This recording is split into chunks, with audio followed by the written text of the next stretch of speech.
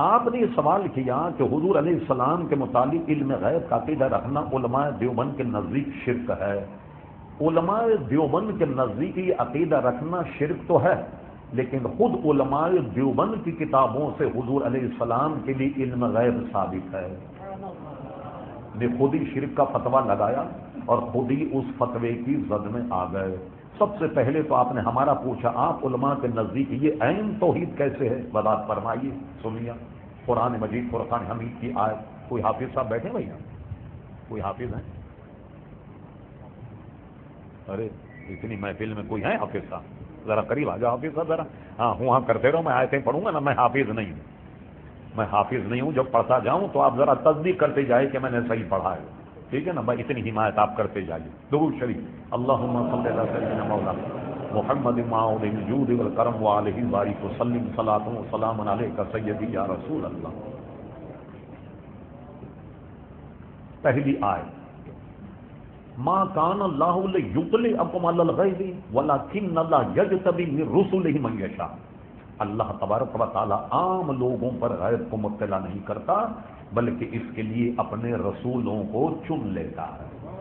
उन पर गैब का इंकशाफ होता है। सूरज जिन फरमाया, आलिमुल गैबी फला युग हेरू अल्लाह गैबी अहदा। अल्लाह आलिमुल गैब अपने भेद, अपने गैब की खबर किसी को नहीं दे इल्ला मन मिर रसूल, सिवाय अपने पसंदीदा रसूलों के। उनको इल्म गैब अता फरमाता है। दो आय तीसरी आय फरमा, वमा हुआ अल गैब बेदनी हमारा रसूल गैब की बातें बताने में बखील नहीं है।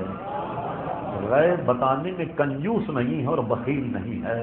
और इस आयत, वमा हुआ अलल गैब बेदनी उलमा देवबंद के शेखुल इस्लाम, मौलवी शब्बीर अहमद उस्मानी साहब का हाशिया मुलाजा फरमाइए कि वमा हुआ अलल गैब बेदनीन में उन्होंने गैब की तारीफ़ तकरीबन वही बयान कर दिए जो उलमाए अहले सुन्नत बयान करते हैं। अब आइए मुतलक एक आय समाज फरमाए। फरमा वो अल्लम का मालम तकुन तालम मेरे हबीब, जो कुछ तो नहीं जानता था तुझे सिखा दिया गया। चार आयतें हो गए उसके बाद सुनी ये जब कुरान मजीद, फुरकान हमीद इसमें क्या कुछ नहीं। है कितना है, उस पर चंद आयतें सुन लीजिए। फरमा वला असगरा मिन दालिका, वला अकबरा इल्ला फ़ी किताबी मई कोई छोटा, कोई बड़ा हमने उठा नहीं रखा, जिसको कुरान मजीद में बयान नहीं कर दिया। और ये आयत एक जगह यूँ भी आई, वाला असगरो मिन दालिका, वाला अकबरो इल्ला फ़ी किताबी मुबीन कोई छोटा, कोई बड़ा ऐसा नहीं। कि जिसको हमने कुरान में बयान ना कर दिया। एक जगह फरमा, वला रतबिन, वला याबिसिन, इल्ला फ़ी किताबी मुबीन। कोई तर, कोई खुश्क ऐसा नहीं कि जिसको हमने कुरान में बयान ना कर दिया। और तफसील अल किताब ला रहे बसी ये कुरान मजीद फुरकान हमें तमाम तर मामलात की तफसील है। सबको हमने कुरान में बयान कर दिया। अब आइए तर खुश, सब कुरान में, छोटा, बड़ा, सब कुरान में, सब कुछ कुरान में। अब कुरान ही से पूछिए, इरशाद बारी ताला हुआ। अर्रहमान अल्लमल कुरान, रहमान ने अपने हबीब को पूरा कुरान सिखा दिया। अब मुझे बताइए, जब पूरा कुरान सिखा दिया, जिसमें हर खुशतर का ज़िक्र, छोटी, बड़ी, सब का ज़िक्र मौजूद है तो अब हजूर सलाम के में क्या शर्क और क्या शुबा हो सकता? इसलिए हमारे उलमा ये फरमाते हैं कि अल्लाह तबारक व ताला की अता से बिजात नहीं अल्लाह तबारक व ताला की अता से जमी माँ का न वमा यकून। जो कुछ हो चुका, जो होने वाला, अल्लाह तबारक व ने सब कुछ अपने प्यारे हबीब सलाम को अता फरमा दिया। सब कुछ अता फरमा दिया। और इसका तर्जुमा आला हज़रत इमाम अहले सुन्नत की जुबानी सुन लीजिए। फरमाते हैं, सरे अर्श पर है तेरी गुजर, दिल फर्श पर है तेरी नज़र। मलाकू तो मुल्क में कोई शह नहीं जो तुझ पे आया नहीं। फिर एक जगह फरमाते, और कोई गैब क्या तुमसे नेहा हो भला? जब ना खुदा ही छुपा, तुम पे करोड़ों दूर जब खुदा नहीं छुपा, और कोई शय, और कोई गैब हजूर सलाम से क्या छुप सकता? लीजिए, अब आइए अहदीस मुकदसा की तरफ़। मिशका शरीफ किताब सलाह। हजूर सलाम तशरीफ़ लाए। बाद अकाबिर फरमाते कि शायद ये वो शब है कि हजूर शब मेराज उस दिन फजर की नमाज़ में आए। साहबा कराम अली मुरिदवान से कहा कि अल्लाह तबारक ताला ने कल शब मुझसे पूछा, फरिश्ते किस बात में नजा करते मैंने कहा, अल्लाह तू बेहतर जानता तो अल्लाह तबारक ताला ने अपना दस्ते कुदरत मेरी दोनों शानों के दरमियान में रख दिया। जब दरमियान में रखा तो कायनात में जो कुछ था मुझ पर रोशन हो गया। जो कुछ था वो मुझ पर रोशन हो गया। और रावी ने क्या किया? कि हदीस बयान करने के बाद सुबह अल्लाह एक प्यारी बात और बयान कर दी। फरमा हुजूर ने यह फरमाया, जो कुछ कायनात में था, जो कुछ जहाँ में मुझ पर रोशन हो गया, और फिर हुजूर सलाम ने ये आयत पढ़ी। रावी कहते वो आयत क्या है? फरमा आयत ये है वकदाल का नूरी इब्राहिमा, मलकूत समावात वल अर्थ और ए मेरे हबीब, इसी तरह हमने इब्राहिम सलाम को भी मलकूत समावात वल अर्थ दिखाए। और वकदाल का नूरी इब्राहिम, मलकूत समावात वल अर्थ की तफसीर में इबन कसीर का कौल सुन लीजिए बा। क्योंकि अहल हदीस देवबंदी हजरात गैर मुकलिब इबन कसीर को अपना इमाम मानते इबन कसीर की तफसीर में यह बात मौजूद है कि रब करीम ने इब्राहिम सलाम को एक टीले पर, एक चबूतरे पर खड़ा किया और उस पर जब आप खड़े हुए तो मलाकूत समावात वल अरब के तमाम पर्दे इब्राहिम सलाम की आँखों से हटा दिए और इब्राहिम सलाम ने जो कुछ कायनात में था, सब कुछ उन पर रोशन हो गया।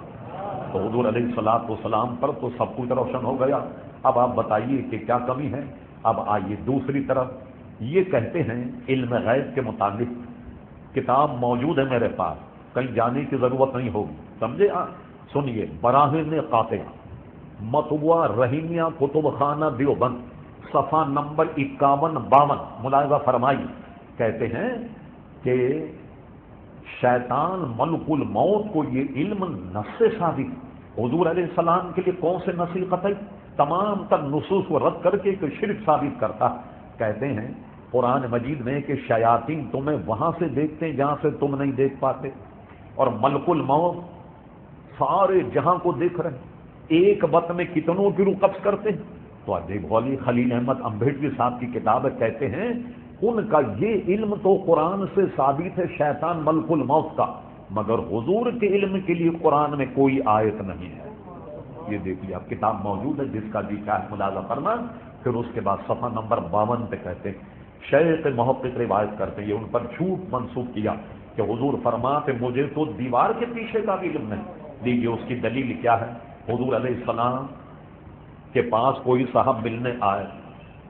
उन्होंने दरवाज़ा खटखटाया, कोई इशारा दिया। हजूर ने फरमाया, कौन? उन्होंने कहा, मैं। उन्होंने कहा, मैं कौन? मैं का नाम बताओ? उन्होंने अपना नाम बताया। हजूर ने दरवाज़ा खोल दिया। कहते, देखा हजूर को तो पता ही नहीं कि दीवार के पीछे क्या, दरवाजे के पीछे क्या। पर मैं मैं कौन? मैं का नाम बताओ? ओ मेरे भाई, इतनी बात आप नहीं समझ पाए। कि हुजूर कानून देने के लिए आए कि कानून बनाने के लिए आए। फरमा मेरे गुलामों, सुनो, मैं तुम्हें ये कानून बताता हूँ। जो तुम्हारे घर आए, दरवाज़ा खटखटाए घंटी दे, वो पूछो तुम के कौन? वो कहे, मैं? कभी दरवाज़ा मत खोलना। पूछो, मैं नहीं, मैं का नाम बताओ, कौन है? अब जब मैं का नाम बताए पता लग जाएगा, आपका कोई रिश्तेदार है अज़ीज़ दोस्त है। मेरे गुलामों, मैं तो जानता हूँ, मगर तुम नहीं जानोगे। हो सकता कोई डकेत आ जाए, कोई डाकू आ जाए, कोई उछटका आ जाए, कोई जना होंडा आ जाए और तुम दरवाज़ा खोल दो। इसलिए पहले पूछो कि तुम, तुम्हारा नाम क्या? और उसके बाद में दरवाज़ा खोलना। तो आपने देखा, इससे ये दलील निकाल। हजूर दीवार के पीछे जो है, वो भी नहीं जानते थे। हजूर का इर्शाद मैं वो देखता हूँ जो तुम नहीं देखते, मैं वो सुनता हूँ जो तुम नहीं सुनते। अल्लाह अकबर, ये तो मुख्तसर बात है। और इन्होंने ये तक एतराफ़ कर लिया कि शैतान का इल्म नबी सलाम से ज़्यादा, मलकुल मौत का इल्म नबी सलाम से ज़्यादा, ये उनकी किताबों में अजीज़ान गिरामी मौजूद है। और इस कस्म के कोई और एतराज़, फ़ौरन चिट्ठी लिखिए, ये एतराज़, और मुझसे आप जवाब लीजिएगा। तो हमने तो ये कहा, जैसा कि आपने इल्ज़ाम लगाया और कहा कि आप उलमा अहले सुन्नत के नज़दीक ये अहम तोहिद है।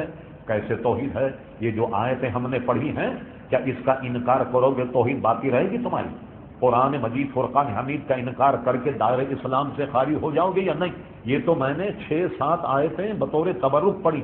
वरना बेशुमार अलकलमतुलिया सदुल अफाजिद बदुल ममासी मुफ्ती नईमुद्दीन मुरादाबादी रहमत का रिसाला। बेशुमार दलाल वहाँ मुलाजा फरमाई। हकीमुल उम्मत मुफ्ती अहमद यार साहब रहमत जाल हक पहला हिस्सा वो आप मुलाजा फरमा